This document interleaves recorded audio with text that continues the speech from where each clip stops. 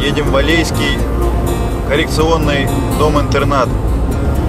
Сзади везем большой торт.